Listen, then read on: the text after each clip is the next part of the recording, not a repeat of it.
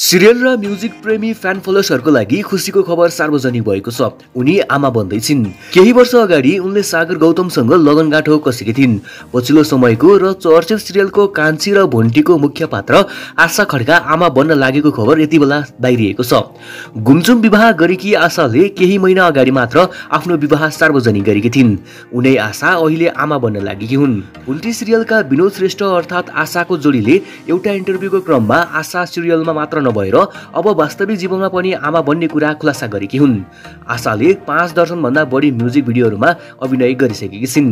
उनी दक्ष निर्देशक पनि हुन्। छोटो समयमा नै लोकप्रिय बन्न सफल भएको थियो कान्छी र पुन्टी सिरियल। आशा खड्का र सागर गौतमजीलाई बधाई तथा धेरै धेरै शुभकामना।